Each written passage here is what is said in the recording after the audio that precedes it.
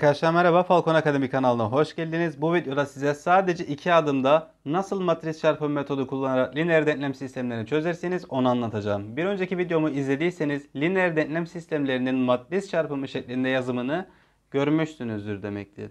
Matris çarpımı şeklindeki yazılımı neydi? A çarpı x eşittir b. Burada A bizim katsayıları matrisimiz, B bizim sağ taraf matrisimiz, x de bilinmeyenlerimizden oluşur. Peki matris çarpım metodu bize neyi söyler? Öncelikle bu metot bizim denklem sistemimizi çözmede işe yarar. Çözmek ne demekti? Bilinmeyenlerimiz yani x1, x2, x3 değerlerimizi bulmada işe yarar. Peki bu eşitliğe bakın arkadaşlar. Bu eşitlikte bilinmeyenimiz ne? x. x'i yalnız bırakmamız lazım. Nasıl yalnız bırakırız? A matrisini diğer tarafa atarsanız A'nın tersi olarak gider ve x değerlerinizi A'nın tersi çarpı B matrisinden bulabilirsiniz. Peki Burada A matrisi katsayılar matrisi dedik. Önceki videoda açıkladık. Fakat burada size tekrardan açıklayayım. A matrisi bizim katsayılar matrisimizdir. Arkadaşlar bilinmeyenlerimiz neler? Birinci bilinmeyenim x1. O halde benim birinci sütunum x1'in katsayılarından oluşur. Kaç tane x1 var? 1, 1 ve 1. O halde ilk sütun 1, 1, 1. İkinci sütunum ikinci bilinmeyenin yani x2'nin katsayılarından oluşur. O nedir arkadaşlar? 2 tane eksi 2 var. 2. Eksi 1 tane var. Eksi 1. Ve 1 tane var. 1. Son olarak arkadaşlar son sütunum son bilinmeyenden yani x3'ün katsayılarından oluşur. 1 tane x3 var. 1 tane x3 var. Son denklemde hiç x3 yok. Yani 0 x3 var. A matrisi benim için budur arkadaşlar. Peki burada x matrisi nedir? X zaten bilinmeyenlerim. Yani x1, x2 ve x3. Son olarak buradaki B matrisi nedir? Ona da sağ taraf sütun matrisi demiştik. Yani eksi 1, 3 ve 4. Peki biz matris çarpım metodu için neyi kullanacağız? A'nın tersini ve B matrisini. B matrisi burada çoktan var. A'nın tersi nasıl bulunur? Hatırlarsanız Gauss metodu kullanabiliriz. A'nın tersini bulalım. Gauss metodu bize neyi söylerdi? Sol kısma matrisin kendisini yazarsınız. Sağ kısma ise birim matrisi yazardınız. Ve belli başlı işlemleri yaptıktan sonra sol kısımda birim matrise gelirseniz sağ kısımda o matrisin tersini elde edersiniz. Burada şuna değinmek isterim. Matris çarpım metodunu bütün lineer denklem sistemlerine uygulayabilir misiniz? Tabii ki hayır arkadaşlar. Niye hayır? Çünkü her matrisin tersi yoktur. Yani her oluşturacağımız bu katsayılar matrisi olan A matrisinin tersini bulamayız. Bu nereden gelirdi? Öncelikle determinanttan gelir. Bir matrisin determinantı sıfırsa o matrisin tersi yoktur arkadaşlar. Lineer denklem sisteminde biz ne biliyoruz? Bir matrisin determinantı sıfırsa iki ihtimal vardır. Ya sonsuz çözüm vardır ya da hiç çözüm yoktur. Tek çözüm olabilmesi için determinantın sıfırdan farklı olması gelir. Yani biz matris çarpımı metodunu kullanabilmek istiyorsak A matrisinin determinantı sıfırdan farklı olmalı. Sıfırdan farklı olmalı ki A'nın tersi olsun. Sıfırdan farklı olmasının avantajı ne? Tek çözüm var. Yani biz her zaman tek çözüm bulabileceğimiz denklemler sisteminde matris çarpımını kullanabiliriz. Sonsuz çözüm ya da hiç çözüm yoktur olasılıklarında bu metodu kullanamayız. Neyse A matrisinin tersini bulalım. Yöntemimizi söylemiştik. Sol kısmı A matrisinin kendisini, sağ kısma ise birim matrisi yazalım. Sol kısmı A matrisinin kendisini yazdım. Sağ kısma birim matris neydi? Köşegenleri 1, köşegen değerleri, köşegen olmayan değerleri, terimleri 0 olan matris. Öncelikle ne demiştik? A matrisi birim matrise dönmeli. Zaten burada A'nın tersinin var olma koşulu bu A matrisini birim matrise çeviremezseniz zaten A'nın tersi yoktur anlamına gelir. Yani bu metodu kullanamazsınız. Peki birim matrise gelmesi için birinci sütun, birinci satırın 1 olması lazım. Zaten 1. Fakat alt kısmı 0 değil. Burası ve burası 0 olmalı. Yani ben birinci satırı eksi 1 ile çarpıp ikinci satıra eklersem şurayı 0 yaparım. Aynı şekilde birinci satırı eksi 1 ile çarpıp 3. satıra eklersem şurayı 0 yaparım. Ve oluşacak olan yeni matris ne olur? 1. Artık 0 sıfırladık zaten. İlk satır aynı. Evet.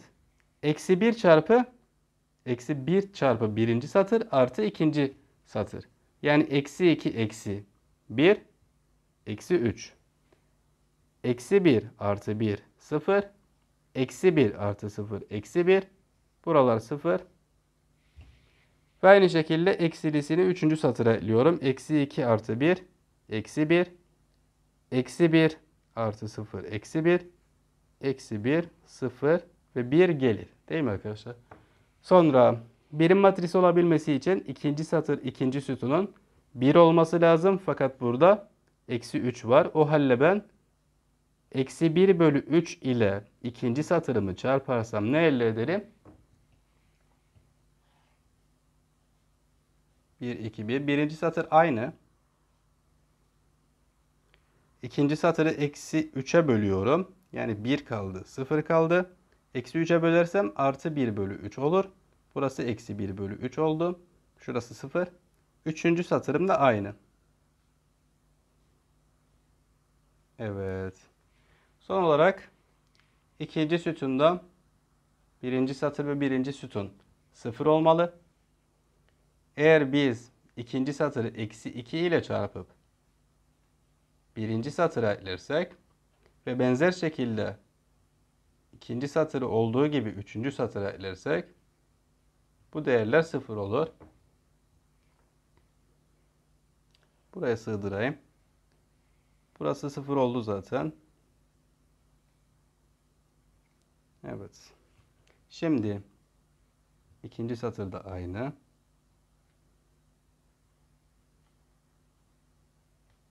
Peki. İkinci satırı eksi 2 ile çarpıyorum. 0 artı 1. 0. Eksi 2 ile çarptım. Eksi 2 bölü 3. Artı 1. 1 bölü 3 oldu. Eksi 2 ile eksi 1 bölü 3'ü çarparsam artı 2 bölü 3 artı 0. Burası 2 bölü 3 oldu. Ve benzer şekilde 0 çarpı bir şey 0. Ve son olarak bunu olduğu gibi 3. satıra ekliyorum. İkinci satırı 3. satıra ekliyorum. Burası eksi 1. Burası eksi 2 bölü 3 kaldı. Burası eksi 1 bölü 3 ve 1. Evet. Artık 3. sütun 3. satırdaki kişiyi 1 yapmalıyım. Yani 3. satırı eksi 1 ile çarparsam eksi 1 çarpı eksi 1 artı 1 olur. Ve orası da 1 olmuş olur.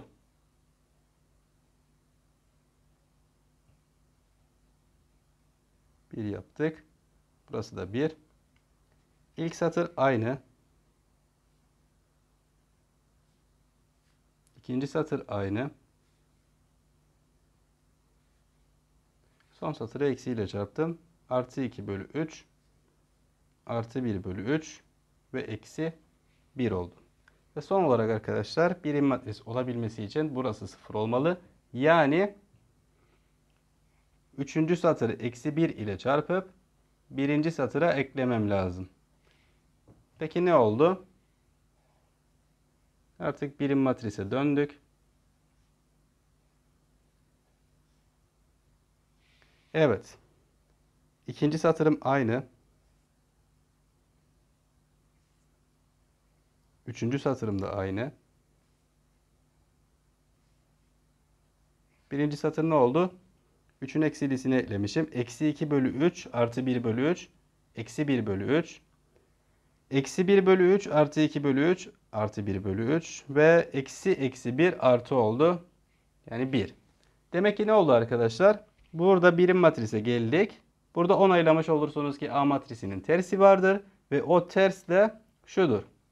Yani buradan A'nın tersinin ne olduğunu söyleyebiliriz. Eksi 1 bölü 3 1 bölü 3 1 1 bölü 3 eksi 1 bölü 3 0 2 bölü 3 1 bölü 3 eksi 1. Bu ilk adımda arkadaşlar. A'nın tersini bulmak ilk adım. İkinci adımda bilinmeyen derim. Yani x'leri bulmalıyım. Ben neyi biliyorum? İkinci adım. Ben neyi biliyorum? x eşittir. A'nın tersi çarpı b. B matrisini zaten biliyordum. A'nın tersini de hesapladım. Şimdi kaldı bize pardon. X'i bulmak. X neydi? X1, X2, X3 demiştik. A'nın tersi ne? Burada hesapladık zaten. Eksi 1 bölü 3. 1 bölü 3 1. 1 bölü 3 eksi 1 bölü 3 0. 2 bölü 3 1 bölü 3 eksi 1. B matrisi neydi? Eksi 1 3 4. Tabii ki bu iki matris çarpılabilir. 3'e 3 ve çıkacak olan cevap tabii ki 3'e birlik bir matris çıkması lazım. Tamam. İlk matris, ilk terimi bulalım. İlk terimi nasıl bulursunuz? Birinci satır ile birinci sütunu çarparsınız. Burada hemen yapalım. Eksi 1 bölü 3 ile eksi 1'i çarparsanız artı 1 bölü 3. 1 bölü 3 ile 3'ü çarparsanız artı 1. 1 ile 4'ü çarparsanız artı 4. Buradan 5 oldu. Paydaları eşitlersek 15. 16 bölü 3 gelir. Tamam. Hemen buraya eşittir yazıp yeni matris yazayım. İlk değerim 16 bölü 3 geldi. İkinci terimi bunu kırmızıyla işaretleyeyim. İkinci satırı birinci sütunla çarpmalıyım. Buradan 1 bölü 3 çarpı eksi 1 eksi 1 bölü 3. Eksi 1 bölü 3 ile 3'ü çarparsanız eksi 1 ve 0 ile 4'ü çarparsak 0. Yani buradan burayı 3 bölü 3 olarak yazabilirsiniz. Eksi 4 bölü 3. Demek ki şu terim eksi 4 bölü 3 geldi. Ve son olarak son değeri nasıl bulabiliriz? Son satır ile birinci sütunu çarpmamız lazım. 2 bölü 3 ile eksi 1'i çarparsanız eksi 2 bölü 3. 1 bölü 3 ile 3'ü çarparsanız artı 1. Ve eksi 1 ile 4'ü çarparsanız eksi 4. Burası eksi 3 oldu. Ve ne geldi? Paydaları eşitlerseniz eksi 9 bölü 3 olarak yazabilirsiniz. Eksi 11 bölü 3 geldi değil mi? Yani son terimim eksi 11 bölü 3. Artık ne elde ettim arkadaşlar? Buradaki bilinmeyenlerimi aslında buldum. Nasıl? X1 şu matrisleri çarparsak kaçmış? 16 bölü 3. Yazalım. Demek ki x1 16 bölü 3. x2 neymiş? Eksi 4 bölü 3 yazalım.